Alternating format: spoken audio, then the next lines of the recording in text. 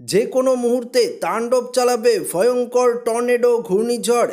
ইতিমধ্যেই পশ্চিমবঙ্গের এই জেলাগুলিতে কাল কালবৈশাখী ঝড়ের সতর্কবার্তা জারি করেছে আলিপুর আবহাওয়া দপ্তর। তো বন্ধুরা, টর্নেডো ঘূর্ণিঝড়ের সম্ভাবনা ঠিক কোন কোন জেলাগুলিতে রয়েছে? এই মুহূর্তে আলিপুর আবহাওয়া দপ্তর কি জানিয়েছে? সরাসরি আপনাদেরকে এই ভিডিওটিতে লাইভ আপডেটে জানিয়ে দেব। তো ভিডিওটি শুরু করার আগে আপনাদের কাছে ছোট্ট একটি রিকোয়েস্ট রইল। নতুন হয়ে থাকলে অবশ্যই চ্যানেলটিকে সাবস্ক্রাইব করবেন এবং পাশের দেওয়া বেল আইকনটিকেও প্রেস করবেন।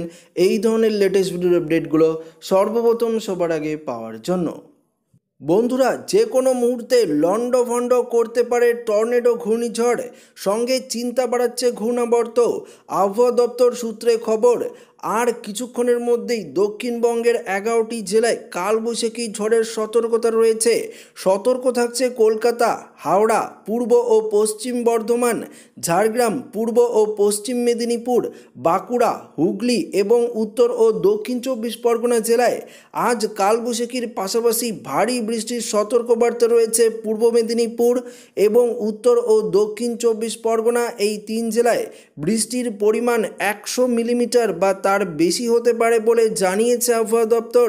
জানানো হয়েছে, আটই মে পর্যন্ত উপকূল সংলগ্ন এলাকায় ভারী বৃষ্টি এবং ঘন্টায় পঁয়তাল্লিশ থেকে পঞ্চান্ন কিমি গতিবেগে বইতে পারে জোড়া হাওয়া। এর জেরে সমুদ্রের কাছাকাছি অঞ্চলে বাড়তি সতর্কতা জারি করা হয়েছে। পূর্ব মেদিনীপুর, দুই চব্বিশ পরগনায় বৃষ্টির সম্ভাবনা রয়েছে, দুই দিনাজপুরে বৃষ্টির সম্ভাবনা রয়েছে।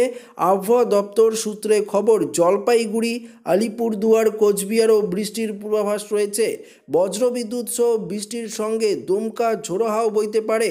পাঁচই মে বৃষ্টির সম্ভাবনা ছিল দুই চব্বিশ পরগনা, নদিয়া, মুর্শিদাবাদে। পাশাপাশি আপনাদেরকে জানিয়ে দিই, তিরিশ থেকে চল্লিশ কিলোমিটার গতিবেগে জমকা ঝোড়ো হাওয়া বইবে। আগামী চব্বিশ ঘন্টায় ঝড় চলবে দক্ষিণবঙ্গে আর বজ্রবিদ্যুৎ সহ বৃষ্টি চলবে শুক্রবার পর্যন্ত। শনিবার কিছুটা বৃষ্টি কমলেও স্বাভাবিক হবে কিছুটা পরিস্থিতি, তবে রবিবারও কিন্তু বৃষ্টিপাতের সতর্কতা রয়েছে। শুক্রবার পর্যন্ত দক্ষিণবঙ্গের সব জেলাতেই বিক্ষিপ্ত বৃষ্টির সম্ভাবনা রয়েছে। বৃষ্টির দোসর হবে ঝোড়ো হাওয়া, ঘন্টায় ষাট থেকে সত্তর কিলোমিটার গতিবেগে দমকা ঝোড়ো হাওয়া বইবে। উপকূলবর্তী এলাকায় সতর্কবার্তাও জারি করা হয়েছে। ইতিমধ্যেই দীঘার সমুদ্রে দশ ফুট ঢেউ আছড়ে পড়েছে। উপকূলবর্তী এলাকায় প্রশাসনের তরফ থেকে মাইকিংও করা হচ্ছে। তবে বন্ধুরা বুঝতেই পারছেন, বিশেষ করে দক্ষিণবঙ্গের জেলাগুলিতে কালবৈশাখী ঝড়ের অ্যালার্ট রয়েছে এবং উপকূলের জেলাগুলিতে সুন্দরবনের দিকে টর্নেডো ঘূর্ণিঝড়ের পূর্বাভাস জারি করেছে আবহাওয়া দপ্তর। তো আশা করি এই ভিডিওটি প্রত্যেকের ভালো লেগেছে। ভিডিওটি ভালো লাগলে লাইক করবেন, বন্ধুদের সাথে শেয়ার করবেন, নতুন হয়ে থাকলে চ্যানেলটিকে সাবস্ক্রাইব করবেন। ধন্যবাদ।